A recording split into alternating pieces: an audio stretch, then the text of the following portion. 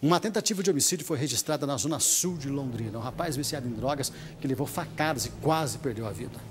O estado de saúde da vítima é considerado grave. Na chegada, a gente deparou com ele lá embaixo ainda, com quadro de dispneia, uma falta de ar importante, um paciente bastante pálido, com suor na face, agitado, com uma fome de ar assim, né? Bem típico de quando tem uma perfuração pulmonar, né?